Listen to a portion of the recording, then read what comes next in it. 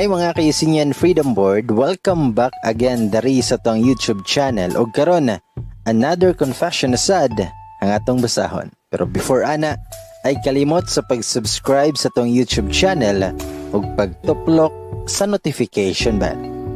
Og karon mga kaisinyan Freedom Board, ladies and boys, ako si Bay Gamay ug ako nang basahon ang confession karon.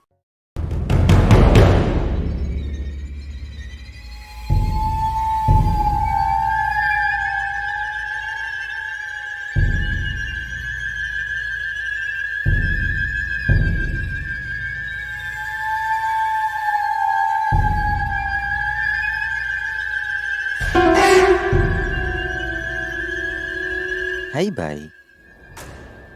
Magsata na mga naminaw ka. Ako dahil si Andrea. Usa ka obigay ni doctor dari sa hospital sa Cebu. I have a secret that no one knows aside from my family and my husband.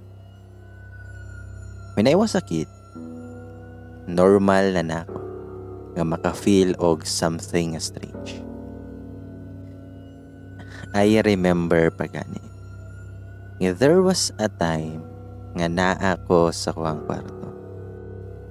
While doing my assignments, dihay ni katawa nga babae sa kuwang CR. O gitawag ang ako ang ngalan. Naghila ko nga nigawas kay nag-inosara lang ko sa kwarto. And there was also a time nga nagkaon ko ato sa kusina.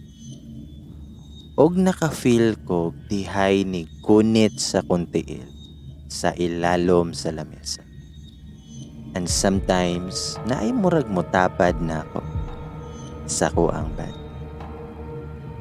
I don't know pero sa nagkadugay nagka-normal na lang na nako.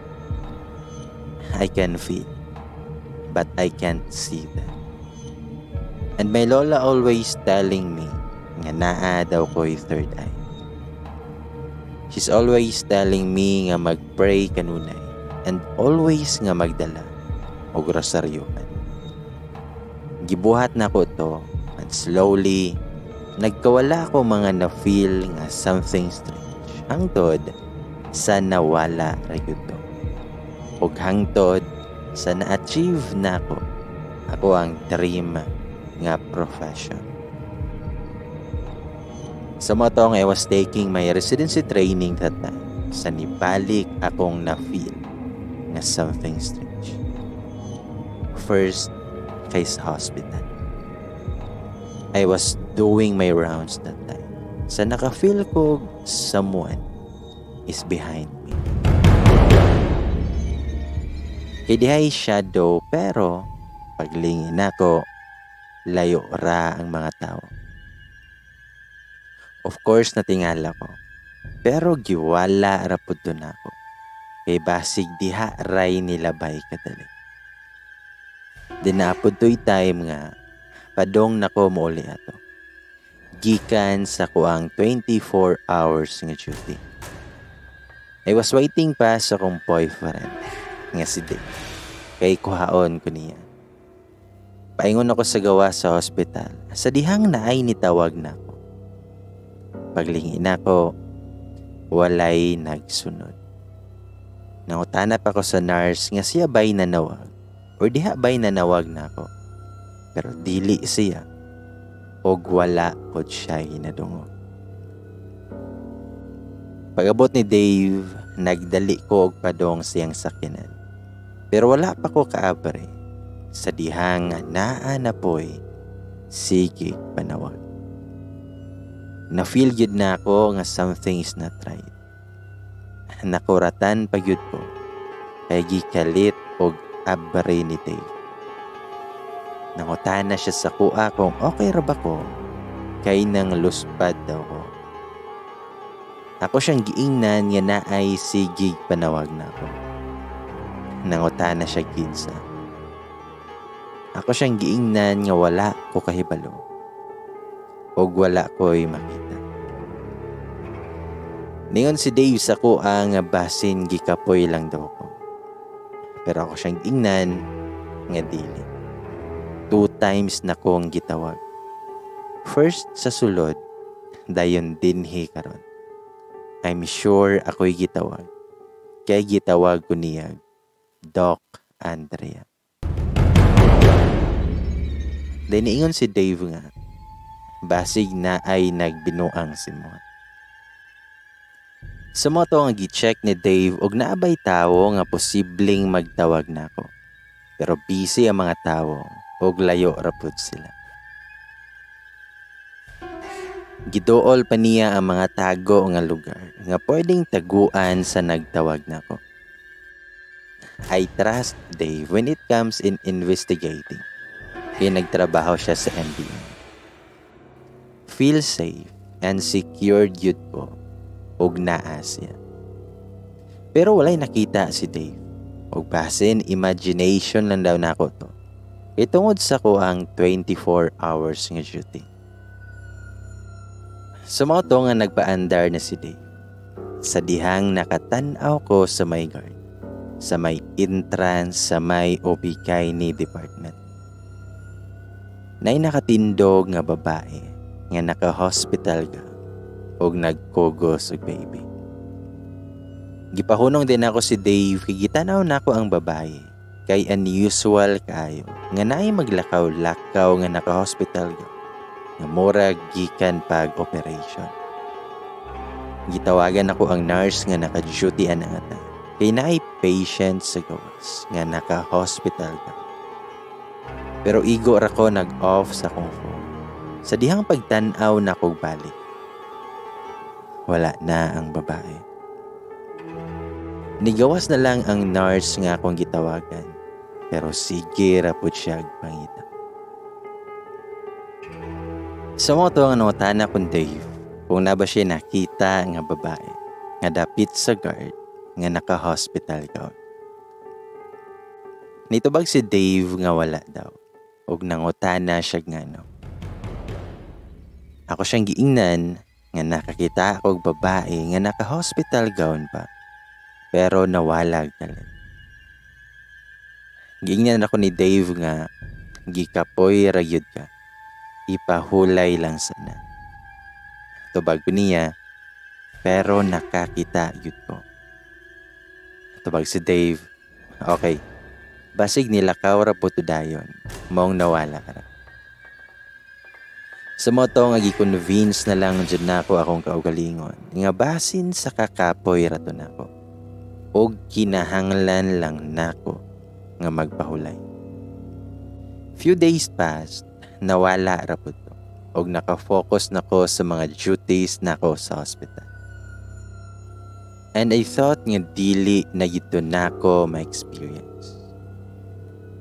Pero one night, sa dihang naa ako sa balay. Nga ang kauban lang nako kay mong helper. Kay nagbakasyon silang papa sa mong province. Nagtanaw ming duha og movie sa may sala.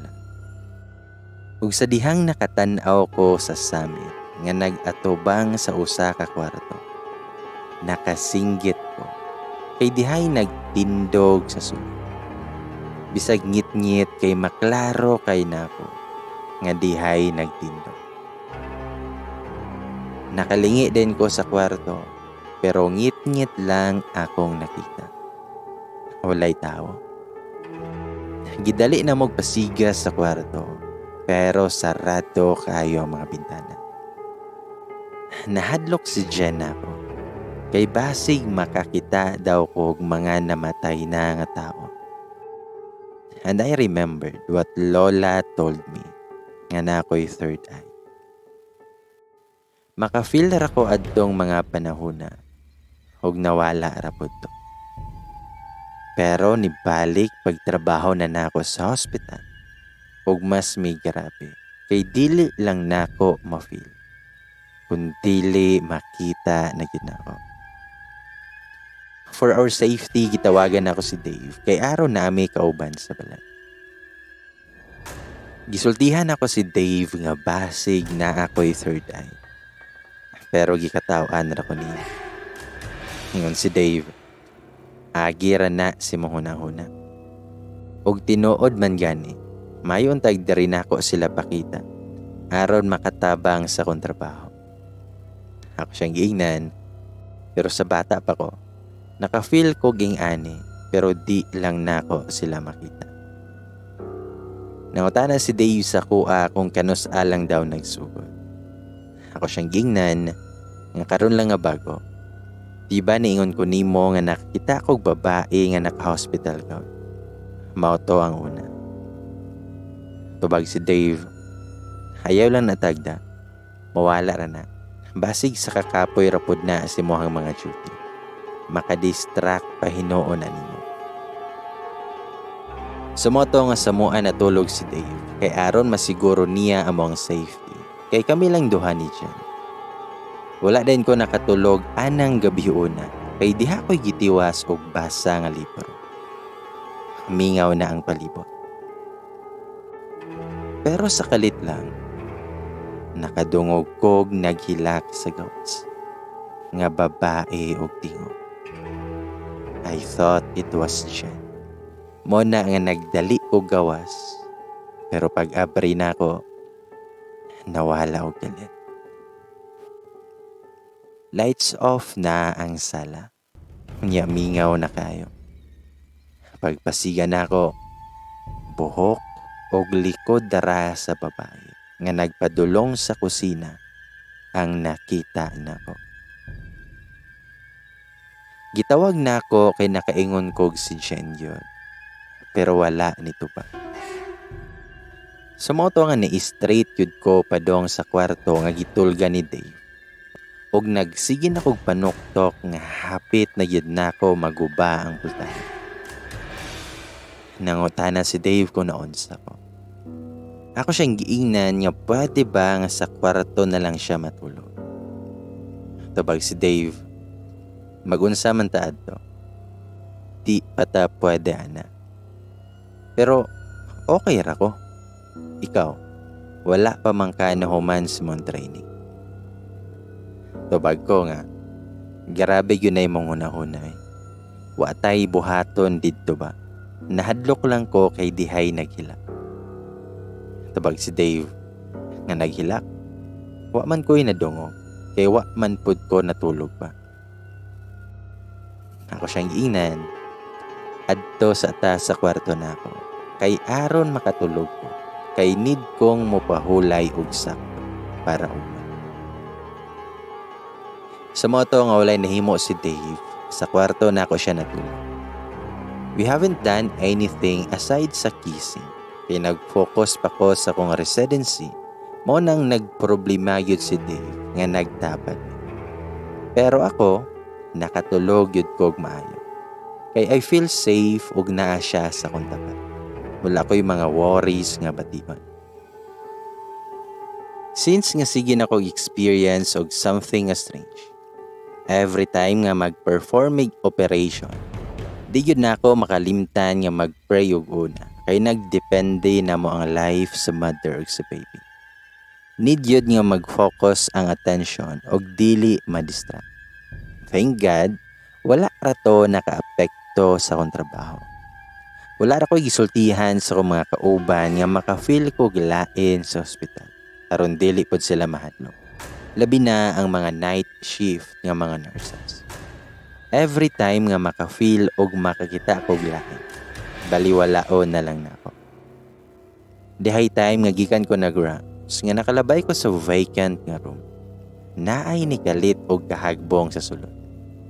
Gidali na kog abre kay basig naay nahitabo. Natingala na lang ko kay naay naka-confine nga pasyente nga galingkon. Wala man untay bag-o nga na-admit adto nga room. Pasulod na unta ko pero gitawag ko sa nurse. Ingon ang nurse nga gipangita daw kong Doc Fred. Denotan ako sa nurse. Naday tay na-admit karon. Tubag ang nurse nga. Ani nga rom, Doc? Wala man. Ngano day, Doc? Di ba naka-discharge naman ang patient ani? Dayon pagtanaw na kog balik sa room.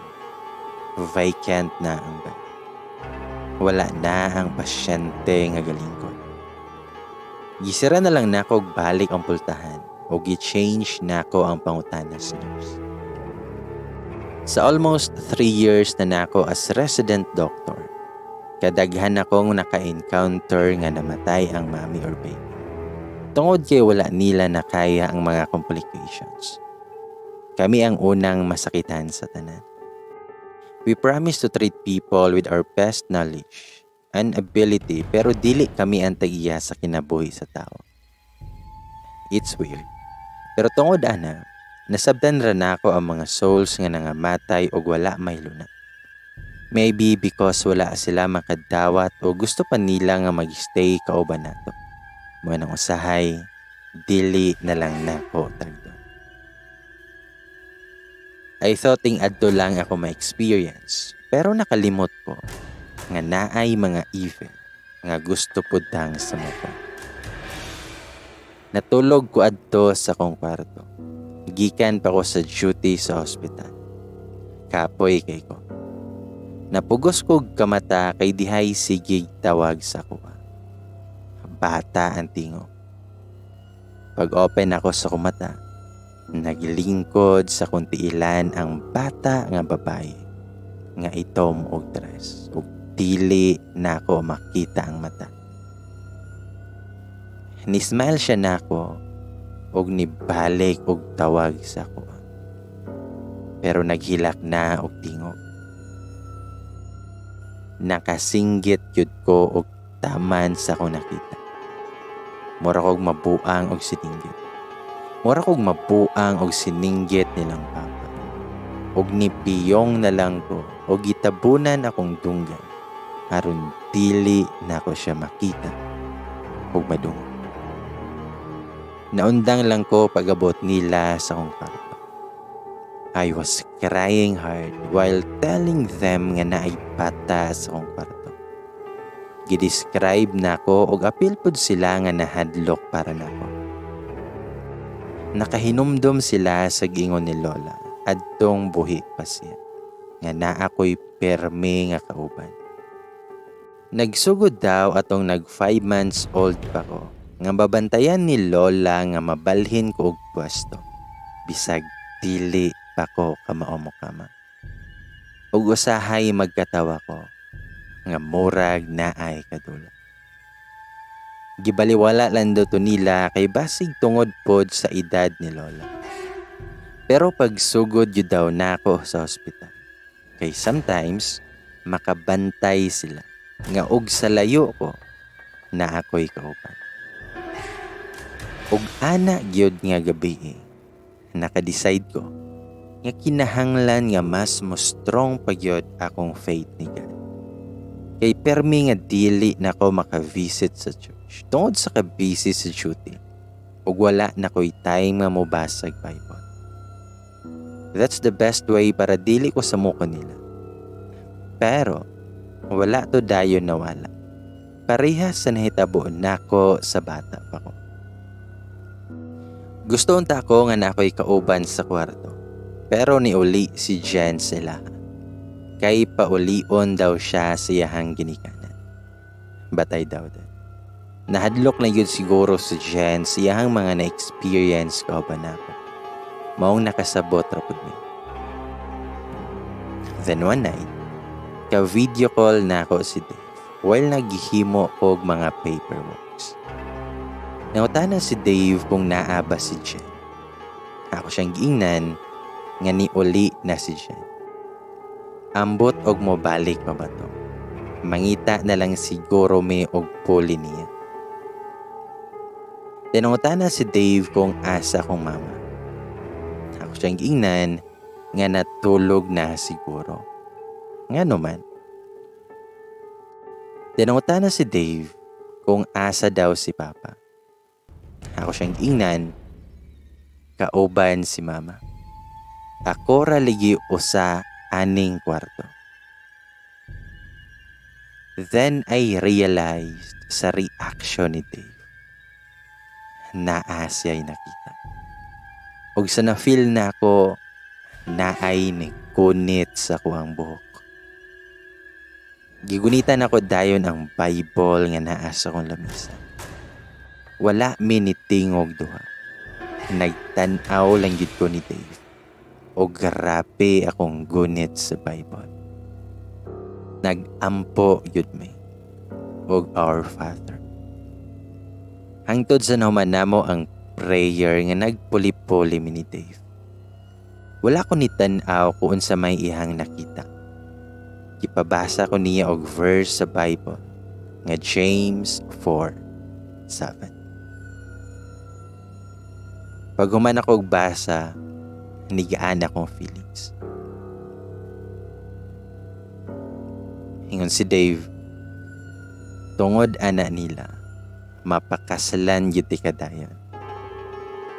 Ako siyang giingnan, sa mas paduolon paday nako sila, aron mapugos ka. Tabag si Dave, ako ra siguro ang solusyon para mawala na sila. Ingon ko nga, basig ikaw na hinuon ang ubanan ani. Tabag po si Dave, nga no problem. Basta mo tabang lang sila sa kong trabaho. Bahalag maglabay-labay sila sa kong atubangan. Dinautan akong Dave kung normal pa ba ko. Tabag si Dave, above normal and extraordinary ka nga babae para na ako. And the only sexy doctor sa kong pananaw. Tabag po ko niya nga, and you're the only handsome NBI. Mao ba? Gwapo man lagi po to imong kauban. Sa mga taong nakasurvive ko ng gabi una, nga wala ra ni dagan sa kwarto nilang papa, kay gilingaw ko Dave. I know nga na siya nakita nga something sa kong kwarto. Maklaro siyang reaksyon sa wala pa siya magsugod sa prayer. Kay natulala si Dave nga nagtanaw sa screen. Gipugan lang niya aron dili ko mahadlok og mapanik. Nag-shock na lang ko kay pagmata na ko sa buntag, diha na siya sa kong kwarto. Gibantayan ako. Mas ma-feel gyud na ako nga safe ko ug walay makahilabot na ako ug naa si Dave. He's my savior and protector. Second to Lord. Kinunay si Dave nga mohatod og mokuha na ako sa hospital. Ug usahay, magdugay ko gawas kay naay mga emergency. Pero maghuwat yun na siya na ako. Bisag unsa pa ko kadugay, pero natingala ko. Sa kagabi eh, paggawas na ko kay wala ang sakyanan ni Dave. Nanawag ko niya kung asa na siya. Ingon si Dave, Di ba nitawag ka na ako nga dili na lang ka pakuha kay na kay lakon? Tubag ko nga, ha? Dili mo ko magdalag cellphone sa ER. O wala pud ko nanawag nimo nga dili ko pakuha. Nitubag si Dave, pero nanawag jud kan. Imuhatong tingo. Dili ka pakuha, mong nilakaw na lang ko. Pero ako siyang giingnan nga wala yud ko nanawag. Nangutana si Dave kung asa na ako gibutang ako ang phone. Ako siyang giingnan nga sa bag na ako. Ug sure ko nga walay ni hilabot dere sa kong bag. Hingon si Dave, okay sige. Huwat dira, kay padulong na ko. Sa moto nga nisulod kog balik sa hospital, kay dili ko gustong mag-inusara sa gawas. Well, naglakaw ko, gi-check na ako akong phone. Kung nanawag ba kong Dave sa time nga dito mig iya. Pero wala ko'y makita sa call history nga nanawag kong Dave adto nga time. Og sure yun ko nga wala yun ko nanawag niya. Hapit na ko sa entrance sa dihang na ako'y nakatagbo nga babae. Wala rapod ko. Pero paglagpas niya na ako, naka-feel ko bug na ako. Dayon paglingin ako sa babae, wala na siya. Nagdali ko nga ni padulong sa guard o gitawagan ako si Dave nga padilion.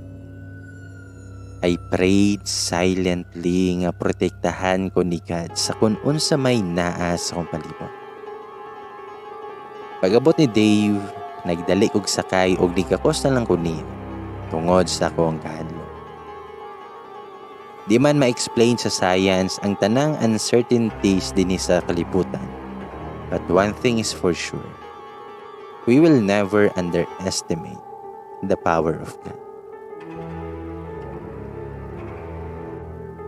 Sa mga taong after sa kong residency, I became a junior consultant in different hospitals.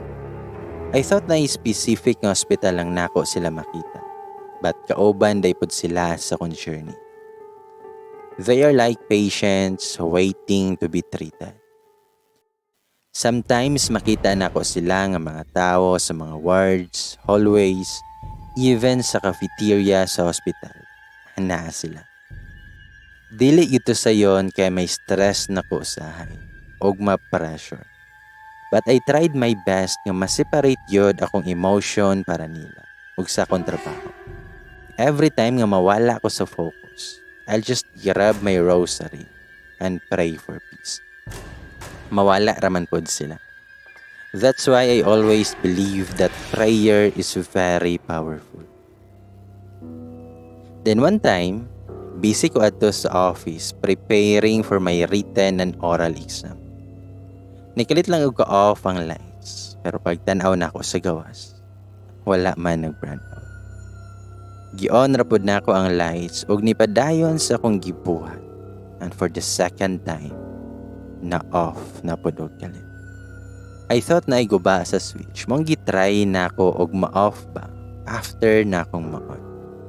Pero pila na ko ka minutes nga nagtindog dapit sa switch. Wala man na off. So nibalik rapod ko sa kong table. Pero igo ragyud ko nakagunit sa kong ballpen. Na off na po. Nakapiyong na lang ko sa kapon. Gibalik-balik na kog on og off ang switch kung guba pa. Pero okay ra kayo. Pagbalik na ko sa kong table, na off na po. Pero nakadungog ko nga nipitik ang switch o gitoyo yudog off. Nakagunit ako sa kong phone sa kong table aron nahayagan ako ang palibot. Pero tungod sa kong panguro, nabuhian ako. Pagpunit na ako, hindi ako'y nakita nga naay nagtindog sa kong atubangan. Usa ka babae. Pero ang nakapangurog na ako, kay wala ni abot ihan tiil sa floor. Like she's hanging, nga murag nag-suicide. Dol yun kay siya nako nga pila ka inches na lang. Magunitan na nako siya. Nabuhian na lang nako akong phone og nipiyong jud ko og taman. Balik-balik na kong gisangpit ang name ni Jesus sa akong prayer. Gipray na ko nga dili ko magpadaog sa akong mga nakita. Gitabunan na lang pud nako akong dunggan aron wala ko'y madungog. Kay naay naghilak sa kuan tapat. Wala yun ko muundang sa akong prayer. Many times nga nangayo og protection sa kung unsa man ang naa sa kong palibot. Until sa nisiga na lang wala na ang babae. Naluya na lang ko nga nalingkod og nihil. First time nga nakakita ako og actual nga forma sa nag-commit og suicide.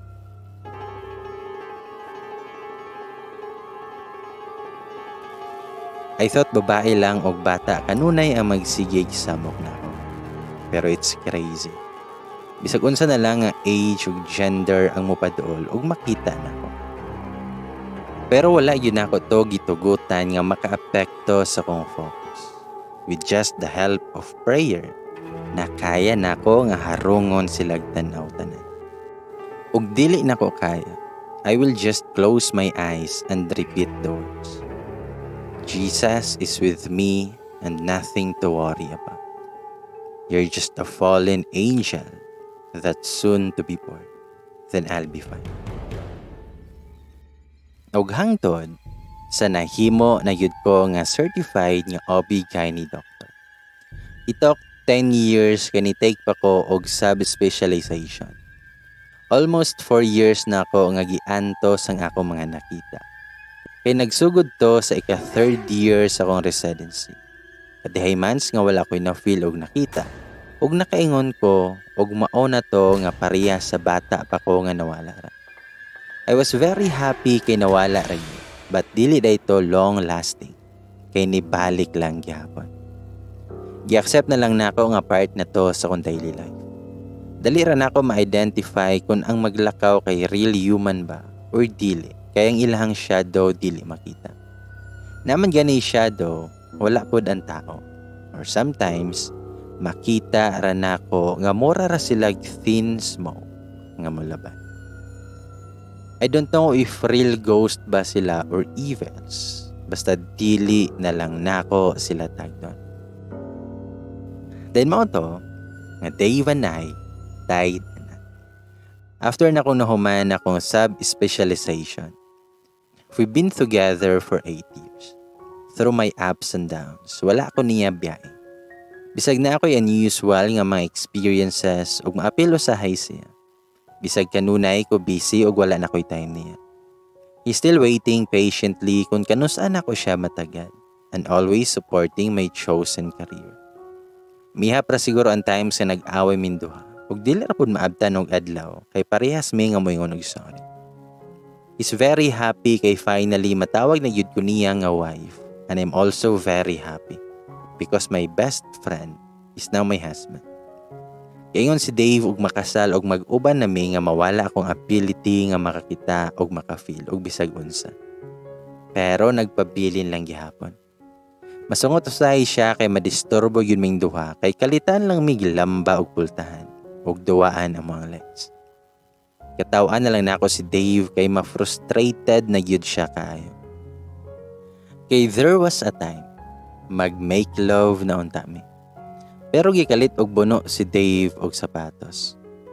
Nahadlo ko kay dili sila manghilabot na ako, pero si Dave ilahang pasakitan. Then one night,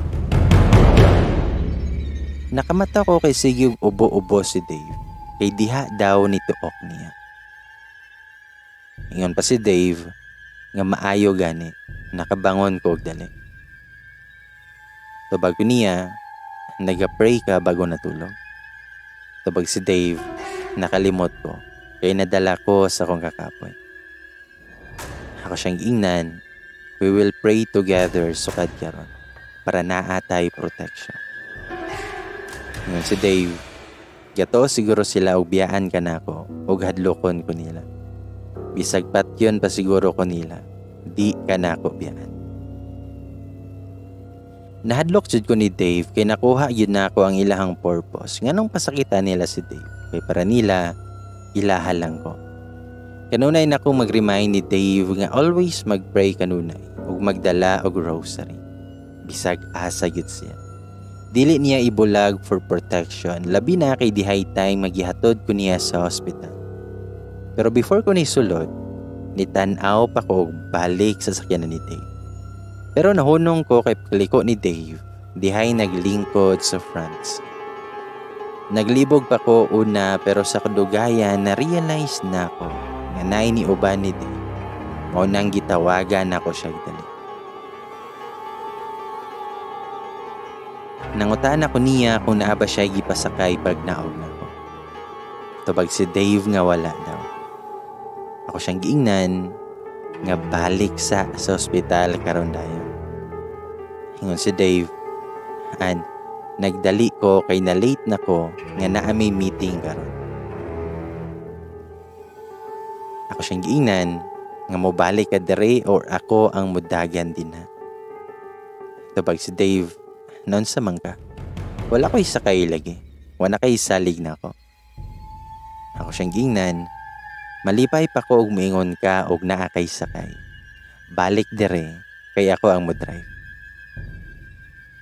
Pagbalik ni Dave ako dayon ni Polly niya og drive. Ako gyud ang nihatod niya sa ilahang opisina. Lain kong feeling sa nakita na akong sakay ni Dave nga murag na ay mahitabo niya anang adlaw. mo nang wala gyud na ako siya gipadrive. Sumoto nga every time nga ihatod ko niya, o ihatod na ko siya, dili mi mo naog o dili mi mag-pray for protection. For one day, I think 10 times or more mi nga mag-pray ni Dave. O every Sunday, dili na mi mo absent sa church. Conscious na ko sa kong palibot ug sa akong makita nga nakasalme kay feeling na ko kuhaon nila si Dave na ko. Dili gyud ako baliwalaon ang feeling nga dili mayo dili ko mo dayon o dili na ko padayonon si Dave og lakaw og makulbaan ko. Katawan na lang ko ni Dave kay nahimo na daw kong possessive wife niya. Pero bahalag ingnon ko og silosa. Basta safe ang akong feeling sa mga lakaw ni Dave. Sa mga nga naburos ko a year after our wedding.